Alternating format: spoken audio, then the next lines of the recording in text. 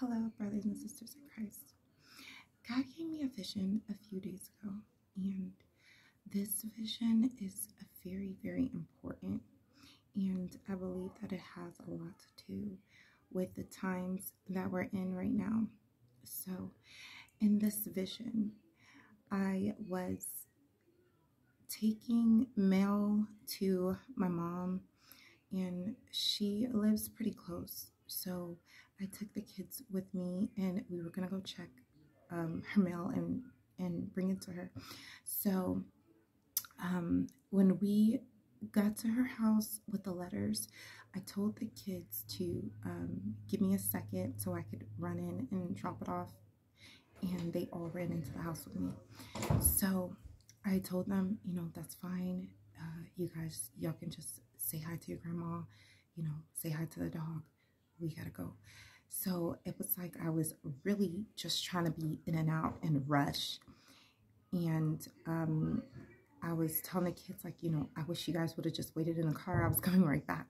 So I looked out um, her backyard. And when I looked out the backyard, I saw paratroop, paratrooter, paratroopers.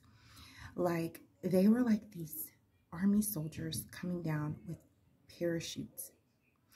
The whole sky was red. The army soldiers with parachutes were coming down from the sky, and they were these big boxes that were like uh, made out of this green metal, and they were also attached to parachutes, and they were falling from the sky. There were bombs going off in the sky.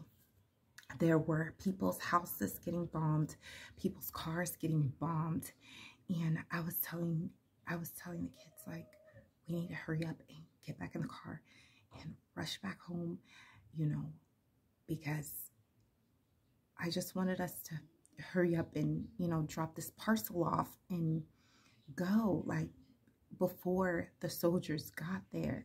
So it happened so quickly, so suddenly. So I rushed all of them back into the car and we left and I woke up out the dream. This war that RUSSIA is planning it's not just going to be happening in Europe. They are going to attack America too. Please give your life to Christ while you still have time. Jesus Christ is at the door. Very soon, he is going to crack open the sky and rapture the saints.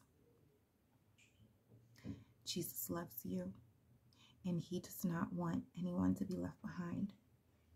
We fly soon. God bless you.